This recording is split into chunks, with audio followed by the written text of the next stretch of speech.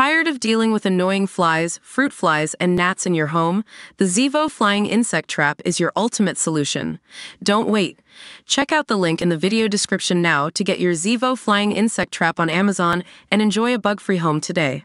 A female Deliveroo rider who bit off a customer's thumb during a row over a Pizza Express order has been spared jail. Jennifer Rocha, 35, caused Stephen Jenkinson, 36, a permanent, irreversible injury in a reckless assault after he was unable to provide a pickup code for the food his partner had ordered.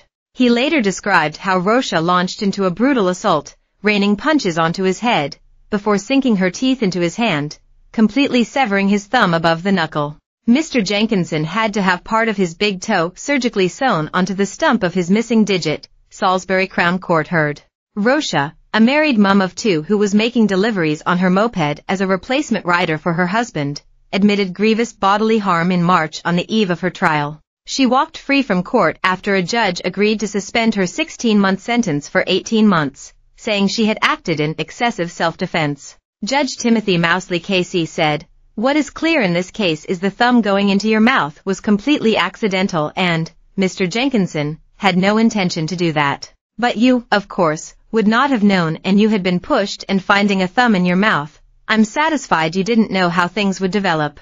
This was a grave injury, and it resulted in a permanent, irreversible injury. Judge Mousley KC said there was considerable mitigation in your case and found Rocha does not pose a risk to the public. The court heard Mr. Jenkinson ordered pizza from Deliveroo to his home near Aldershot, Hampshire, on December 14, 2022. But Rocha arrived at the wrong address, and when he went to collect his food the pair argued over a delivery code which he was required to show.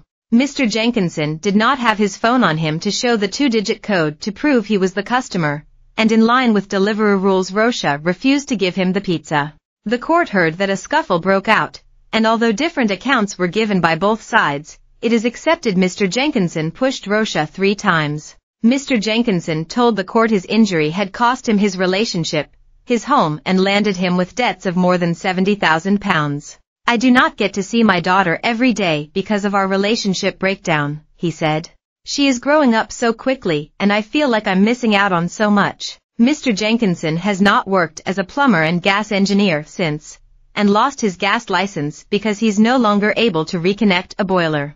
I'm not able to pinch, he explained.